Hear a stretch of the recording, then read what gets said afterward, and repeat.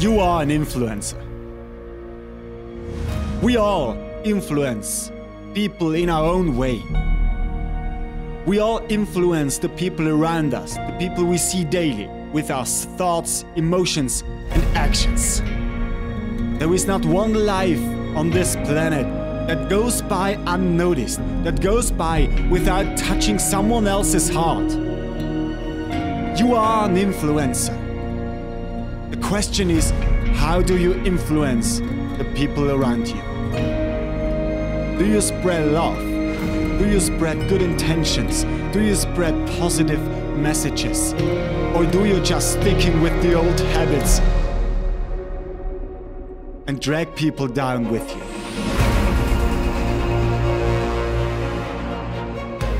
We all have the power to change the world. It may be small, it may be big, but we all have the power to influence everyone around us. But the world is 50 50, and you have to realize that you have to give first before you can receive. If your intentions are not on the right place, there is no chance you'll get back what you spread out. If your intention is to gain something, you will lose. If your intention is to spread love, you will get love back. If your intention is not right, you can do whatever you want. You will not achieve what you want to achieve.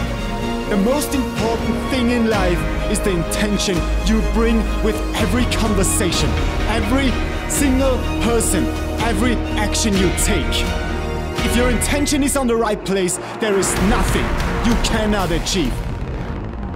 There is nothing you cannot do.